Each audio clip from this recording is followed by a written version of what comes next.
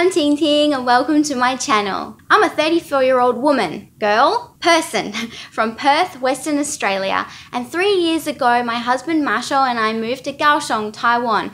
And we basically like it so much here that we haven't left. I started this channel last year because I love finding the excitement in the world around me and sharing that knowledge with other people. My videos are always upbeat and I'm so happy to have been able to help a lot of people learn about Taiwan during 2018. I love awesome things, but I also realize that in the words of my little sister, not everyone thinks everything is totally awesome all the time like you do, Ting Ting. If you also like awesome things, or if you hate awesome things but you love watching things that you hate, then please go ahead and subscribe to my channel and don't forget to hit the bell icon so that you know when I upload a new video, which is about every one to two weeks. I don't upload videos every day because this isn't actually my job. I have a job working online helping Australian kids with learning difficulties. But you will notice that I've allowed YouTube to advertise on my channel so that I can earn a little bit of money to help me pay for equipment and software that I need to make my videos. I do most of my filming, editing, and subtitle translation by myself,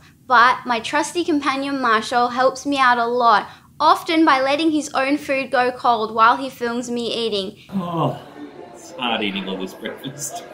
Thank you, Marshall. You're the best. You're the best. Best. I have lots of exciting things planned for this channel in 2019. Those include taking you around to see more of Taiwan, exploring some of the countries that are nearby Taiwan, talking about my life in Taiwan, and of course, we're going to eat, eat, eat, eat, eat some more. I'm really excited to have you with me on this adventure and I can't wait to see all of your comments under my videos this year. I will see you very soon.